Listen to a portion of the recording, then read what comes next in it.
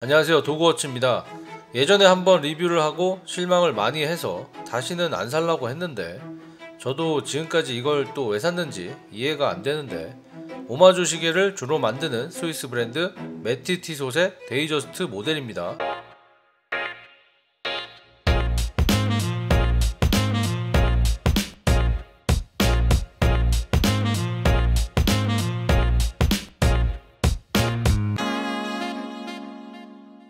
바로 시계로 가보겠습니다. 짠.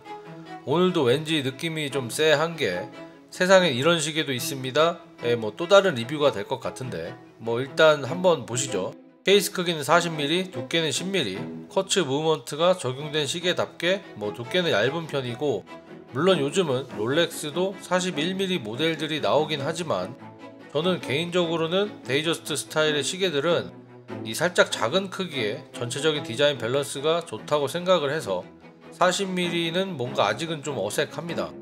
트렌드를 적응하기에는 시간이 조금 더 필요해 보이네요.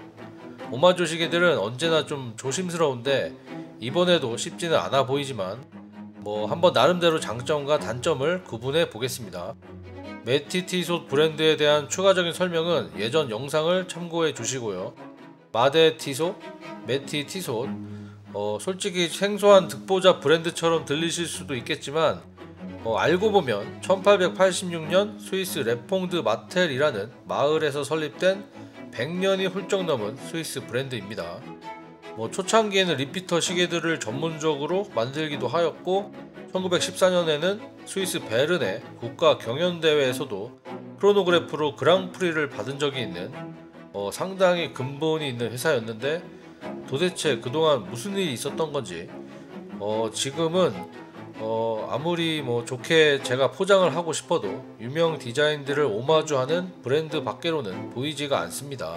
아무래도 지난번 GMT 마스터 2 펩시 모델 오마주를 리뷰한 영향이 좀 컸던 것 같네요.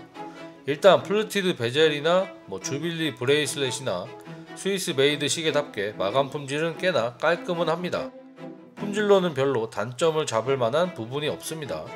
이게 또 그럴 수밖에 없는 이유가 스위스 quartz movement가 적용된 모델이라고 해도 이 시계 가격이 조마샵 기준 84달러, 뭐 대략 10만원 정도밖에 안 하는 시계입니다. 국내 인터넷에서도 20만원 정도면 쉽게 구입이 가능한 걸로 봐서 국내 정식 수입사는 있는 걸로 압니다. 다이얼을 보면 이 시계를 copycat으로는 보기 좀 어려운 게 메티티솟만의 변주가 적용되어 보입니다. 상당히 독특한 다이얼이긴 한데 이 격자로 좀 결이 있는 종이 같은 느낌의 뭐 그런 다이얼입니다. 심플한 인덱스들이나 hands들의 모양도 부담스럽지 않은 크기로 깔끔한 인상이고 이 시침 끝에 weight balance를 메티티솟 로고로 장식한 부분은 뭐 중국산 시계처럼 원가를 아낀 뭐 저렴이 시계처럼 보이진 않습니다. 다만 인덱스 바깥쪽에 위치한 이 도트 형식의 마커들이 어, 저 개인적으로는 조금 나이 들어 보이는 그런 느낌이네요. cyclop도 위치도 정확하고요. 저가 quartz 시계들의 숙명과도 같은 hands 정렬 상태도 나쁘지가 않습니다. 총평입니다. Swiss made 브랜드답게 이 마감 품질에 대한 기본기가 좋기 때문에 오마주 시계에 대한 특별한 선입견이 없으신 분들이라면 자신의 취향에 맞는 시계가 있는지 한 번쯤은 살펴보시면 좋을 것 같고요. 국내 판매 가격 기준으로 생각을 해봐도 론다 quartz가 적용된 Swiss made 시계이기 때문에 가성비는 나쁘지 않습니다. 오히려 사이즈가 한 36mm였다면 추천을 할 수도 있지 않았을까 싶네요.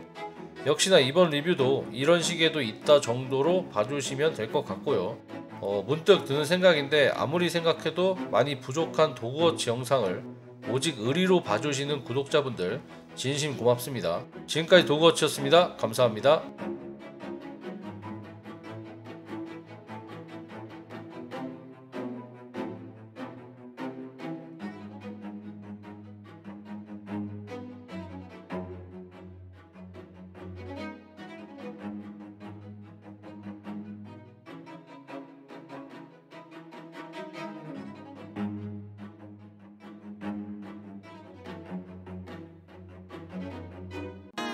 구독과 좋아요, 알림 설정 도와주신다면 저희 도그워치 지속가능 경영이 가능합니다. 사랑합니다.